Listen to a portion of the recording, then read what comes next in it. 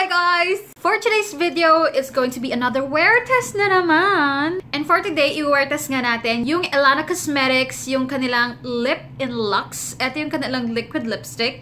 Honestly, wala, wala na naman po akong plano i-review ito. Kaya lang, isang katrabaho ko, parang sabi niya, gulat daw siya at wala pa akong review ng review and wear test ng Elana Cosmetics. And naisip ko, Well, hindi naman siya bagong product, pero naisip ko baka kasi, baka kasi meron dyan, hindi pa nakakabili nito, hindi pa nakakatry nito, and you wanna, you know, you wanna see the performance, you wanna see how long-lasting it is, and if it's worth it sa price na utang na loob, 599, 600 pesos. So, I actually have two na ganito. Yung isa nakuha ko sa Lazada box, and then this one, this one, I personally bought it nung nag-sale.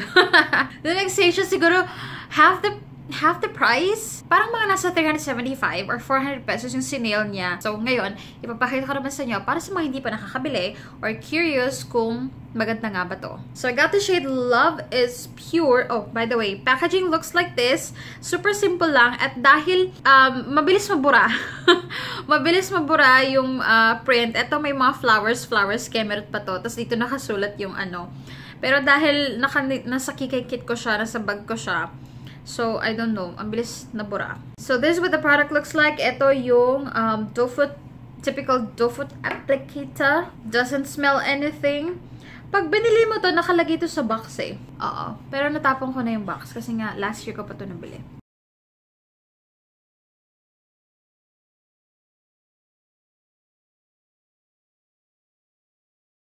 So this is what Love is Pure looks like. Honestly guys, hindi siya red. I mean, so biglang tingin, akalain mo red, but it's, okay, it's probably red, pero meron siyang pink undertone. Alam mo yun? Actually, parang nga siyang super duper duper duper dark pink. Kaya nagmumukha siyang close to red. Anyway, let's talk about the formula. Yung formula nito is very thick, you guys. It is creamy pero more on the thicker side. Hindi siya tacky. Pag in-apply mo siya, nope, hindi siya tacky, pero super kapal nung pigment niya. Like, pag isang isang dip lang na ganon, kaya niyang i-cover yung buong labi mo. Kasi yung doe foot applicator, parang marami na siya nakukuha product. Tapos, pag nilagay mo siya sa labi mo, hindi siya tacky. Pero, mararamdaman mo siya. It's medyo heavy. Alam mo na meron kang suot, ramdam mo siya, and somehow, medyo lang naman ah, parang nasa-strict niya ng konti yung labi mo. Parang kailangan mong stretch na maigi yung mouth mo para, alam mo yun, komportable ka in everything. So, first application na. Is it kiss-proof?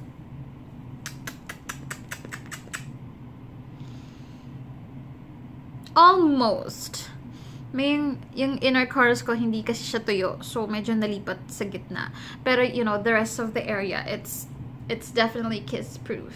So this is Love is Pure and it's super matte. Do I love the formula? It's not my favorite. Liquid lipstick na liquid lipstick siya. Medyo close siya sa Vice Ganda. Sa feel has, sa feel sa labi, yung Vice Cosmetics uh, liquid lipstick, medyo similar sila for me. It's not mala Maybelline, it's not mala L'Oreal type, it's on the thicker side. Anyway, magkakatalo tayo sa wear test. How long is this gonna last on my lips? Medyo tsaka yung gitna. Okay, I'll just let it dry like this. I'll see you sa wear test, guys. Hmm? Pwede na to? Tapos parang, first time maano ni Jason. Ako hindi na kayo mag-usap. Pero ako, ako ko sa'yo later. Bakit hindi na kayo sa condo? Pero yun nga, mag-rent kayo. Hindi naman pumayag din. Ano? Kaya nga, eh, this should not be the reason. Spoiled. A little bit spoiled. Sa kanya. Ako malaman niya na gano'n ang gagawin. Residential residential area.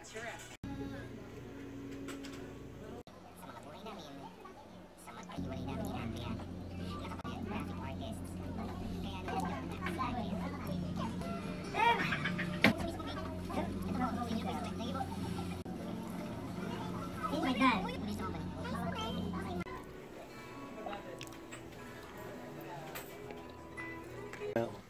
Kuya naman. Okay, wait. Susunod naman naman. Nakabaho ko. Selos ang Ano yun? pagkakasal. Wear test me. Say hi. At hindi hindi ako tutulad sa'yo. Ginagawa mo. Wear test. Maloko. Ng pagkain. Kaya nga nagsusorry na, di ba? Wear testing. Sorry na sabihin ko sa'yo eh. corny eh. Pero paulit-ulit pa rin naman ako sinasaktan. Ano ba to? Hindi ko na nga gagawin. Pero kami yun. yung sa tatay Hindi na kita sasaktan. Basta bumalik na kayo sa bahay. Ayusin natin to, Jenny. Mahal mo. Sorry, wag naman natin. Wag naman natin. Wag na, ano? Buti may kasama. Wag naman natin. Huwag naman nating hayaang lumaki. Ayun na yan. Okay. Hindi Hindi na na ako magre-record, no? Basta bumalik na kayo sa bahay. Hindi na ako magre-record. Ayusin natin to, Janina. Wag naman natin hayaan lumaki yung mga bata na magkaiwala yung mga magulang nila. At talagang ginawa mo pang pampain na siya. Wala ako dun, no? Oo. Mas gugustuhin ko na lang na lumaki sila na magkahiwalay tayo kesa naman paulit-ulit nilang makita yung mga pananakit mo sa akin. Ano yan? Umiiyak ka? Ako na nga itong sinaktan mo, ikaw pa itong umiiyak. Ano ba ang gusto mong gawin ko? Ha? Pagbago ako? May sequel yun. Yun yung may ginagawa ko, di ba? At ilang beses ko naman sinabi na hindi ko sinasadya na saktan ka. Love and sadness. Hindi alis Lalaki. dito hanggat hindi tayo nagkakaayos. Bakit? May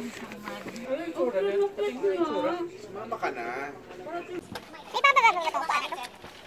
May pizza sa Starbucks? Pizza ba yun? Aha. Parang congress na. Mmm. Kung masasawa natin, Ano papasok pa yan? Veggie meat? ang sarap siya. Meat talaga siya. Vegetables. Ang fairness. O dahil sa sauce, kaya nadadala. Lasa to. Mm. Yung isang flavor ito na kwenta. Walang lasa. Sarap yung sauce, akala mo ang sarap-sarap niya. Let's start from here. Dun sa Dear MR project natin. Shit. ha? Hindi eme yung kagabi. Mm. Legit yun. Yung napaisip din naman siya. People who have been around. Out of the... Pa, Nakakayak. ah, saan nga? Gado yung sumali nagkwento sa akin. no?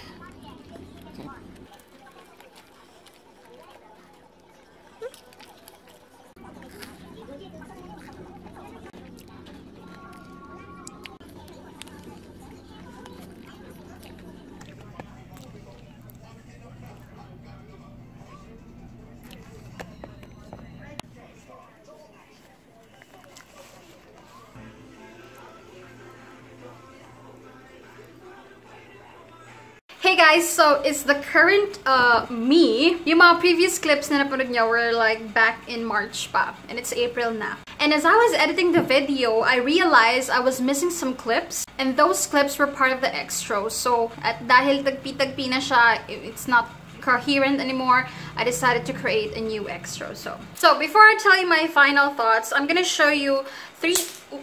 I don't have two shades pala. I have three shades. I own three shades. So, kahit pa paano, isaswatch ko na rin sa inyo muna bago ko sabihin yung aking uh, final thoughts. First shade is Love is... Love is Reason.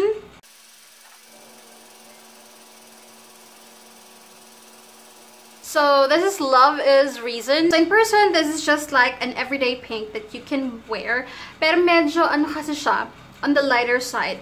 Light, bright side. So, um, I'm not sure if this is gonna work dun sa mga morena loves natin dyan. Pero if you have medium to fair to light skin tone, this would work on you. So, yeah, this is Love is Pure. Hey guys, hindi na ako nag full makeup pa kasi I'm on mommy duty. Um, sinisingit ko lang to. This is like an emergency filming. Next shade I'm going to show you guys is called um, Love is Bliss. So, kung ito pink, ito medyo ma-peachy. So, this is Love is Bliss in person. Biglang tingin mukha siyang pink, pero uh, honestly, it's not. It's more like a peachy pink, parang ganun. And ito, medyo bright din siya in person. So, if you are morena, medyo baka mahirapan kang gamitin ito. These two shades, guys, I didn't get them. I didn't buy them. Um, I got this for free sa Lazada box. Pero yung winner test ko, itong Love is Pure. Hindi ko na swatch siya kasi, Diyos ko, nakita niyo na. Yun talaga, pinili ko siyang bilhin. And, another sad thing is, meron akong isa pang shade, which is like a deep red but it's missing. I don't, feeling ko naiwan ko siya sa office na naman. So, may mainiiwan kasi akong lipis doon just in case I need this, I need that. So, baka isa yun sa mga naiwan ko sa office when nag-ECQ. So, sorry. The three shades lang ang nakita nyo in this video. Anyway, so what are my final thoughts? Performance-wise, long-lasting naman tong si um, Elana Mineral Cosmetics Lip and Lux. Kung kailangan mo ng liquid lipstick na pang-event, kung kailangan mo ng pang-party, pero hindi ka naman masyadong kakain, hindi ka naman bonggang-bonggang iinom, this could be a perfect candidate. Kaya lang yung formula niya kasi, it's like an old school liquid lipstick. Yung mga liquid lipstick kasi ngayon, di ba parang moussey type, parang mga ganyan-ganyan. Ito talaga parang old school liquid lipstick, just like Vice Cosmetics, Ofra Cosmetics, yung mga ganong leveling. It's really, really long-lasting. Lalo na kung wala ka namang masyadong gagawin using your lips. Um, yes, you're gonna eat, but you're not, you're not gonna buffet style eat. Okay to, very long lasting siya. Is it worth it for the price? Um, dito ako medyo parang, ang mahal niya kasi, para siya 600, it's 600 pesos you guys. Pero, it has the same effect as Vice Cosmetics uh, liquid lipstick. Although ito is much more powerful, stronger, and long-lasting than Vice Cosmetics. Siguro okay lang if you're looking for a really, really strong uh, liquid lipstick that will last you that will last you sa events, sa meeting, or something like that na hindi magta-transfer sa damit mo, sa gilid ng labi mo, and all that. Pero uh, I don't recommend that you get all the shades. Hindi naman lahat mag-work sa skin tone mo or something like that. Maybe you could buy shades that you don't have. Will I buy more pag nag-sale? Honestly, pag nag-sale. Pero hin parang mabigat sa puso kong bumili ng 600 pesos na liquid lipstick. Meron namang Maybelline Meron naman L'Oreal na mas com comfortable, ba? I hope I'm making sense, you know? Is the formula my favorite? No. But is it maaasahan? Yes. Kiss-proof, waterproof? Yes. Food-proof, semi, kasi pag kumain ka, maglalambot pa rin siya. So, alam mo yon lahat ng madampian ng labi mo is mag magkakaroon ng a little bit of transfer. So, what else? I think that's all I can say. So, yeah that concludes our video, guys. Sana nag-enjoy pa rin kayo kahit medyo, you know, weird yung setup. If you have uh, wear test requests, you guys, kering-kering pa naman magawa yan kahit nandito sa bahay. Comment down below nyo yan. And if you have other video requests as well. Tapos, my God, follow me on Instagram, tsaka sa Twitter. Doon tayo magchikahan and all that. You can say your comments and violent reactions sa Instagram and Twitter ko at MOR.